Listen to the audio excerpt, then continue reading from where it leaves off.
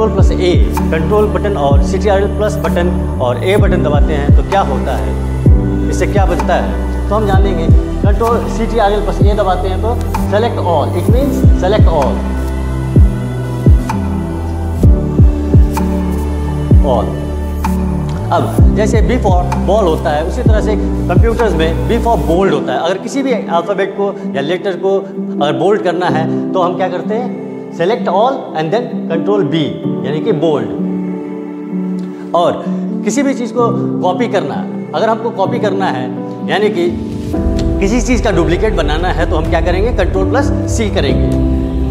Control C means it means copy to copy anything किसी भी चीज़ को हम कॉपी कर सकते हैं कंट्रोल सी दबा के. उसके बाद control D control D means हम किसी भी टेक्स्ट का फॉन्ट चेंज कर सकते हैं. फॉन्ट मीन्स जो हम लोग का लिखावट है, उसे हम क्या कहते हैं? फॉन्ट्स कहते हैं। तो फॉन्ट का साइज़ बढ़ाना हो, घटाना हो फॉन्ट चेंज करना हो, ये सारी चीज़ें हम किससे कर सकते हैं? कंट्रोल प्लस डी से।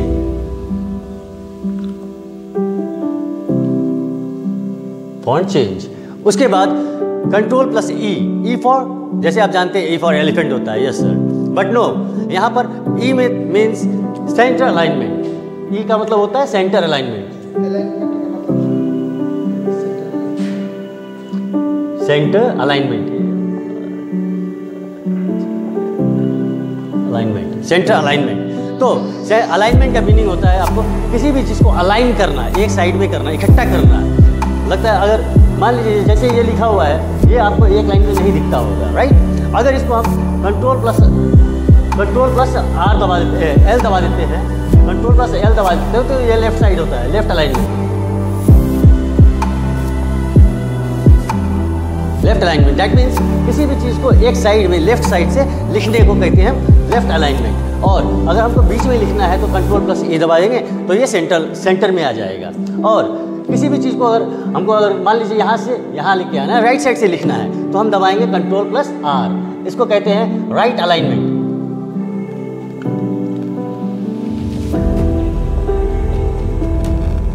राइट अलाइनमेंट उसके बाद आते हैं कंट्रोल प्लस एफ़ मान लीजिए अगर किसी भी चीज़, किसी भी वर्ड को अगर ढूंढना है आपको, मान लीजिए आपको दिया गया है एक कंप्लीट बुक या एक पूरा चैप्टर इसमें कहा गया है, आपको गिन के बताना है कि द कितनी बार आया है इसमें। फाइंड द अगर हम द गिन काउंट करेंगे कि कितने हैं उस चैप्टर में तो हमको गिनता, पढ़, पढ़ना पड़ेगा सबसे पहले तो। ए से लेकर जेड तक नीचे तक हमको पढ़ना है। बट नहीं, पढ़ने में अगर मेरा, पढ़ने, जब पढ़ने जाएँगे तो पढ़ने में समय भी व्यर्थ होगा मेरा समय बर्बाद होगा तो हम क्या करेंगे? कंट्रोल प्लस एफ़ बटन दबा देंगे और जो चीज़ हमको ढूंढना है, वो चीज़ हम फाइंड कर सकते हैं, ढूंढ सकते हैं, आराम से। कंट्रोल प्लस एफ़ दबाने के बाद एक छोटा सा डायलॉग बॉक्स अपीयर होता है, जिसमें लिखा रहता है फाइंड और यहाँ पर एक फाइंड वाट बोल के कुछ आता है। डायलॉग बॉक्स आता है सॉरी कुछ आता है, नहीं डायलॉग बॉक्स आता है। फाइंड वाट यहाँ पर जो भी चीज़ आपको ढूंढना है, वो आपको यहाँ पर लिखने के बाद ओके दबा देना है। तो ये आपको ढूंढ करके बता देगा कि कितने कितने हैं इसमें, कितने वर्ड्स है, कितनी बार आया है ये चीज़। To find anything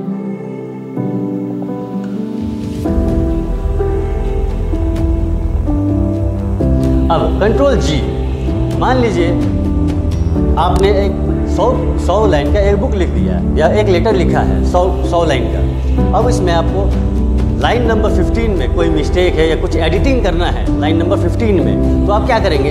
arrow up से ऊपर जाएँगे। इस तरह से अगर हम जाते जाएँ या माउस से क्लिक करेंगे स्क्रॉल करके ऊपर जाएँगे क्लिक करेंगे तो मेरा क्या होगा? समय व्यर्थ होगा और बटन का बटन दबाना पड़ेगा बार बार तो हमको डायरेक्ट वहाँ उस लाइन पे जाना है तो हम कंट्रोल प्लस जी करते हैं। यहाँ पर आएगा आपको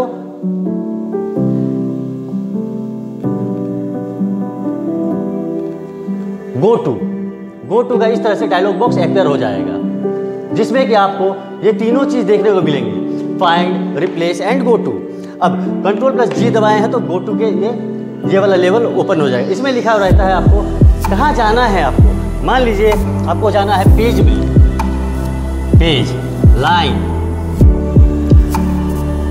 पेज और लाइन समझते पहले। अगर आपको पेज नंबर में जाना है, मान लीजिए 100 पेज है, आपको पेज नंबर 15 में जाना है। तो आपको यहाँ पर टाइप करना होगा। पेज नंबर 15 यहाँ पर गो टू पेज नंबर 15 15 और अगर हमको लाइन में जाना है लाइन नंबर 15 15 में तो हम लाइन पे पेज पे क्लिक ना करके लाइन पे क्लिक करेंगे और 15 लिख देंगे। और 15 लिखने के बाद ओके दबाएँगे तो मेरा क्या होगा?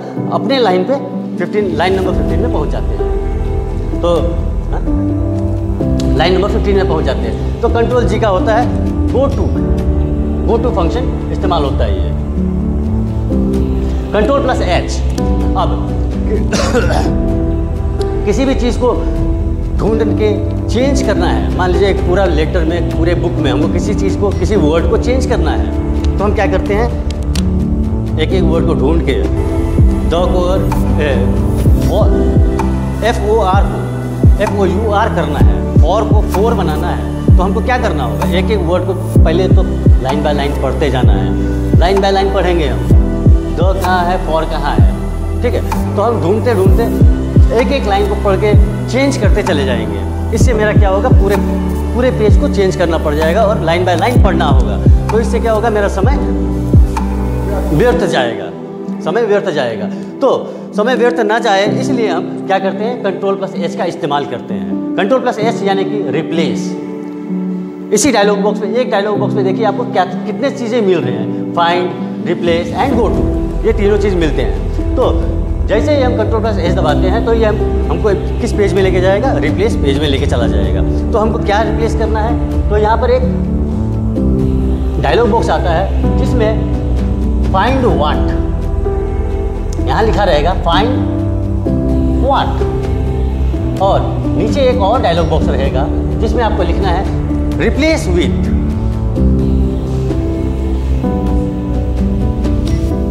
replace with find what and replace with किस चीज़ को ढूंढना है और किस चीज़ से रिप्लेस करना है, इस यहाँ पर एक ऑप्शन आ जाता है मेरे पास।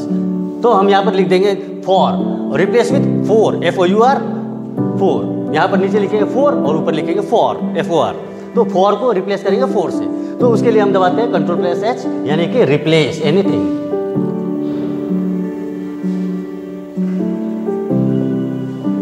एनीथिंग अब अब आते हैं कंट्रोल प्लस आई पे। आई यानी कि इटैलिक इटैलिक यानी कि तिरछा।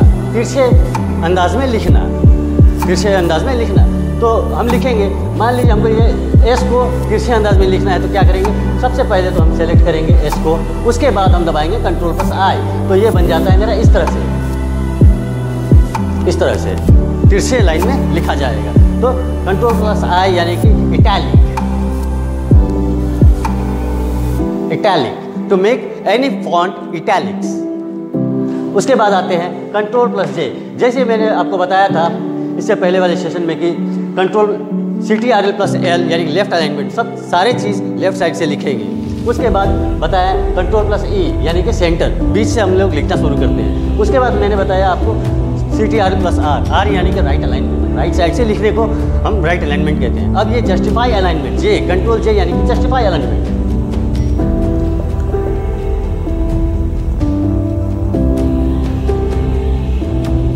justify alignment justify alignment क्या होता है कि हम लिखेंगे ये जो हमारा पेज है मान लीजिए हमारा एक पेज है हम यहाँ से लेकर यहाँ तक लिखेंगे इस यहाँ से लेकर यहाँ तक लिखने को हम कहते हैं जस्टिफाई अलाइनमेंट मान लीजिए हमारा लाइन कोई लाइन यहाँ ख़त्म हो जाता है कोई लाइन यहाँ ख़त्म हो जाता है कोई लाइन यहाँ ख़त्म हो जाता है तो इन तीनों लाइन में डिफरेंस तो आ गया है।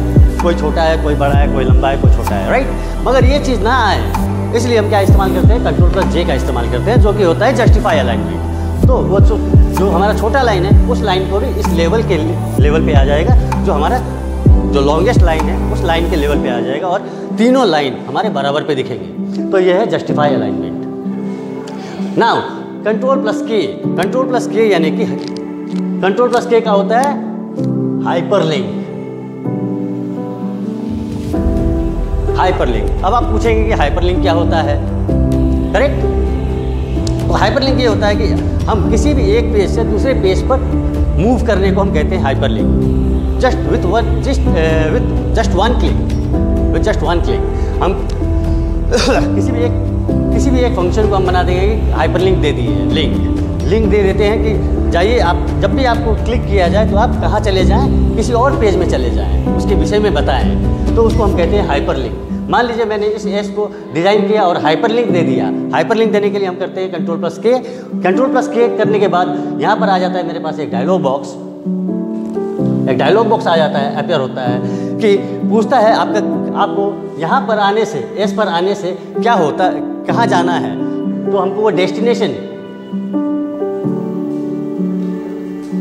डेस्टिनेशन पॉइंट देना होता है कि किस पॉइंट पे आपको जाना है। अगर यहाँ पर क्लिक करते हैं तो ये हमको कहाँ लेके जाए?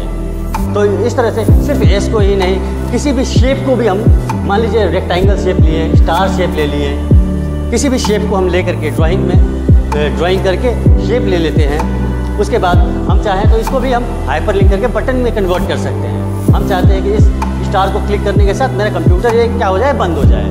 तो हम क्या करेंगे? हाइपर लिंक कर देते हैं शट डाउन के साथ हाइपर लिंक कर देंगे। तो जैसे ही हम स्टार को क्लिक करेंगे, मेरा कंप्यूटर क्या हो जाएगा? शटडाउन हो जाएगा, यानी कि बंद हो जाएगा।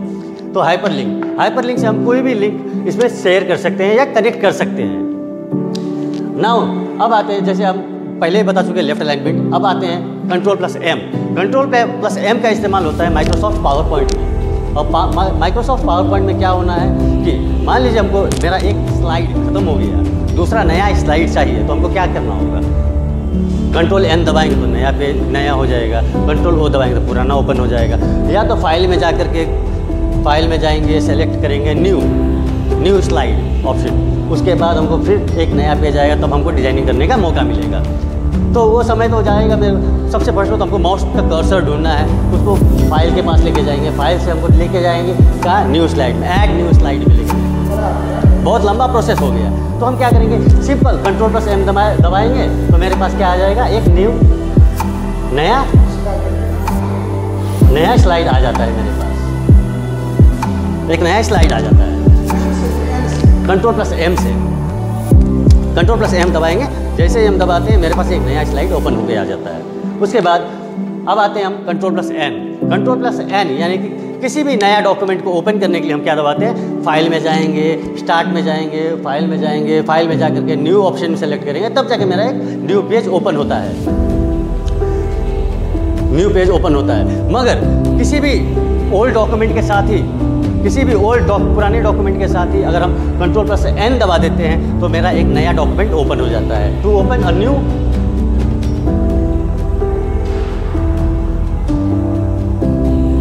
new doc new document अब, मान लीजिए हमको नया काम नहीं करना है। मेरा कल का किया हुआ काम आज भी करना है कंटिन्यू करना है। तो हम क्या करेंगे? कंट्रोल एम तो दबाने से रहा। ये हमको दबाना है नहीं। कंट्रोल एम का इस्तेमाल कर नहीं सकते हैं, क्योंकि ये पावर पॉइंट है नहीं। तो हम क्या करेंगे? मेरा पिछला काम को अगर ओपन करना चाहेंगे तो हम करेंगे कंट्रोल प्लस ओ इसका काम होता है to open open my P R previous doc previous doc doc means मैं यहाँ पर डॉक लिख रहा हूँ। डॉक होता है किसी भी डॉक्यूमेंट का शॉर्ट फॉर्म किसी भी डॉक्यूमेंट का शॉर्ट फॉर्म होता है डॉक इसलिए हम, मैं यहाँ पे आपको डॉक का इस्तेमाल कर रहा हूँ। नाउ प्रिंट अब हमको डॉक्यूमेंट तो मेरा तैयार हो गया। डॉक्यूमेंट मेरा तैयार हो गया। अब मेरे उच्च अधिकारियों ने कहा कि इसका प्रिंट आउट ले लो। तो प्रिंट आउट करने के लिए हम जाते हैं फ़ाइल फ़ाइल में जाकर के प्रिंट ऑप्शन को सेलेक्ट करते हैं प्रिंट सॉरी प्रिंट फ़ाइल में जाकर के प्रिंट रिव्यू करते हैं सबसे पहले तो। उसके बाद में हम क्या करते हैं? प्रिंट ऑप्शन का सेलेक्ट करके प्रिंट कमांड देते हैं। तो अब तो उतना लंबा प्रोसेस हम नहीं करेंगे। हमको करना है अगर प्रिंट तो हम क्या करेंगे? सिंपल कंट्रोल प्लस पी दबा देंगे। तो प्रिंट एनी डॉक्यूमेंट किसी भी डॉक्यूमेंट को प्रिंट करने के लिए कंट्रोल प्लीज़ जब पी दबा देते हैं तो मेरा प्रिंट ऑप्शन डायरेक्ट ओपन हो जाता है। और मान लीजिए, हमको प्रिंट नहीं करना, मगर प्रिंट प्रीव्यू देखना है। तो प्रिंट प्रीव्यू देखने के लिए मैं क्या करता हूँ? Simple C T R L plus F two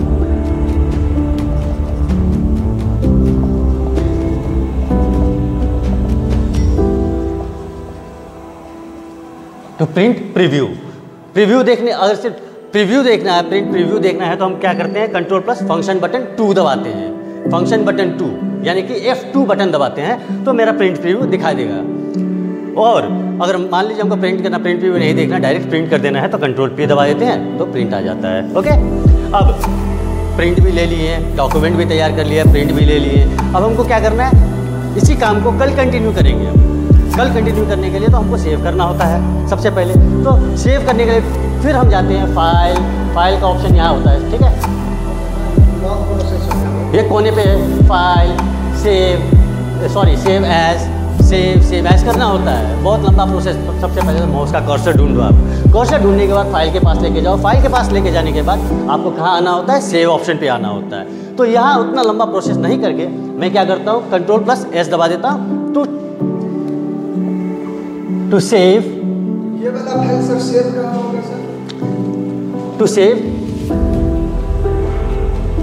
to save any doc अब जैसे आपने आप लोगों ने पूछा हमसे कि अगर आप कंट्रोल प्लस एस दबा देते हैं तो तो ये सेव ऑप्शन आ जाता है और सेव हो जाता है। आपने पूछा कि, सर, ये सेव कहाँ होगा? तो सेव यहाँ होगा कि जैसे ही हम कंट्रोल प्लस एस दबाते हैं तो एक डायलॉग बॉक्स अपेयर होता है। यहाँ पर मेरा डेस्टिन फ़ाइल नेम लिखा जाता है। फ़ाइल नेम और यहाँ हमको डेस्टिनेशन दिखाया जाता है। डेस्टिनेशन ठीक है? तो यहाँ डेस्टिनेशन आपको डिसाइड करना होता है कि कहाँ रखेंगे आप? या तो आप डेस्कटॉप पे रखिए या ड्राइव पे रख लीजिए। ये आप आप, आपके ऊपर है। ठीक है? फ़ाइल नेम दे दिए, उसके बाद सेव ऑप्शन को यहाँ पर सेलेक्ट कर दिए। तो सेव हो जाएगा आपका। मान लीजिए, एक पहले से आपका सेव किया हुआ है डॉक्यूमेंट आप किसी और के नाम से या किसी और अलग नाम से सेव एज करना चाहते हैं। सेव एज करना चाहते हैं तो फिर से फ़ाइल में जाइए। फ़ाइल के बाद सेव एज ऑप्शन सेलेक्ट कीजिए। वही पुराना सिस्टम तो ये पुराने सिस्टम को उतना लंबा प्रोसेस को ना करके मैं दबाता हूँ। C T R L plus F twelve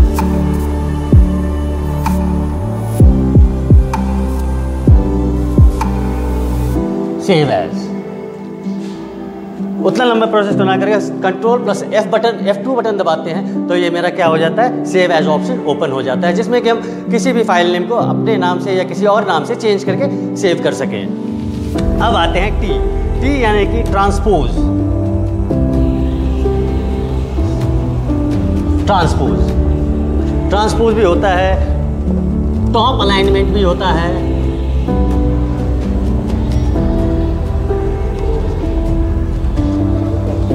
alignment भी होता है, ट्रांसपोज भी होता है। पहले आपको बताते हैं ट्रांसपोज क्या है। अगर ट्रांसपोज इस्तेमाल होता है आपको माइक्रोसॉफ्ट एक्सेल में ओके वर्ड में ये काम नहीं आता है। वर्ड में आपको टॉप अलाइनमेंट में काम आ जाता है ठीक है? तो ट्रांसपोज मीन्स अगर ये डॉक्यूमेंट मेरा इस तरह से है शेल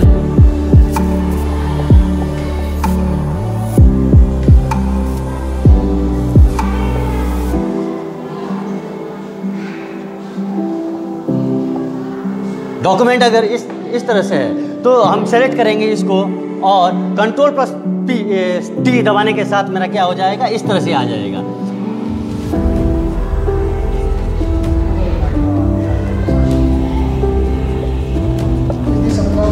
या तो कंट्रोल प्लस टी दबाने के बाद ये मेरा फॉर्मेट ही चेंज कर देता है और ट्रांसपोज कर देता है। अगर हॉरिजेंटली है तो वर्टिकली कर देगा। वर्टिकली है तो हॉरिजेंटल में कर देगा ये।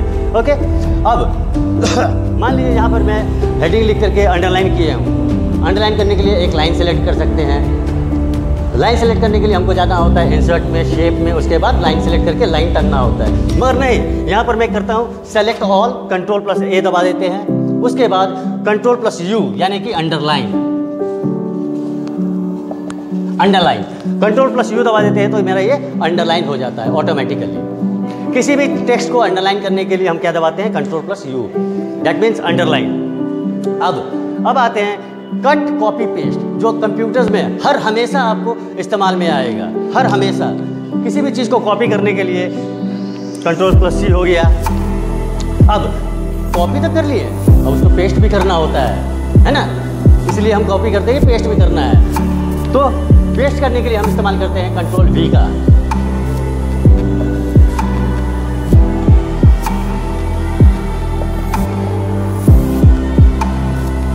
किसी भी चीज़ को पेस्ट करने के लिए हम इस्तेमाल करते हैं कंट्रोल वी ये हो गया कॉपी और पेस्ट अब करते हैं। कॉपी पेस्ट तो समझ गए हैं। किसी भी चीज़ का डुप्लीकेट करना किसी भी चीज़ को डुप्लीकेट करने को हम कहते हैं कॉपी मान लीजिए एक एक पेंसिल है मेरे पास। एक पेंसिल है, उसको कॉपी करके हम क्या कर लिए? डुप्लीकेट कर लिए। डुप्लीकेट कर लिए तो मेरे पास कितने पेंसिल हुए? कंट्रोल प्लस सी कर कॉपी करने को ये होता है कंट्रोल कॉपी और पेस्ट को कहते हैं डुप्लीकेट करना, यानी कि दो हो जाएगा। अब कट कंट्रोल प्लस एक्स यानी कि किसी भी चीज़ को कट करके, किसी भी चीज़ को कट करके पेस्ट करने को हम कहते हैं कट पेस्ट यानी कि मूव किसी भी चीज़ को एक जगह से दूसरी जगह मूव करने को हम कहते हैं कट एंड पेस्ट कट अब आते हैं वाई पे। वाई यानी कि वाई यानी कि रीडू मतलब अगर कट किए हैं कट हो गया मिस्टेकली दूसरा या वही ये redo sorry redo control Y अभी अभी नहीं बताएँगे इसलिए इसको बताएँगे आखिरी में आखिर में। कंट्रोल प्लस जेड यानी कि अंडू अंडू अंडू यानी कि मैंने यहाँ पहले कट किया था पेस्ट कर दिया। मगर अब मैं ये नहीं करना था हमको। कट नहीं करना था पेस्ट कॉपी एंड पेस्ट करना था तो मैं क्या करूँगा? अंडू करूँगा। वापस से मेरे पास ये पेंसिल वापस से आ जाएगा। यानी कि पिछले लाइन पे मैं चला जाऊँगा। तो नहीं, फिर से दोबारा मुझे सर ने कहा, नहीं, इसको कट करके ही वापस कर लो। कॉपी करके करके नहीं, कट करके ही वापस करो। तो कट तो मैंने पहले किया था तो मैं क्या करूँगा? कंट्रोल प्लस वाई दबा दूँगा। यानी कि अंडू का रीडू हो जाएगा। इसको दोबारा करना और ये वापस किसी काम को करना। अगर मिस्टेक हुआ है तो उस मिस्टेक को रेक्टिफाई करने के लिए कंट्रोल जेड और वही मिस्टेक दोबारा करने के लिए कंट्रोल प्लस वाई यानी कि रीड तो आज का सेशन यहीं पे ख़त्म होता है। Thank you very much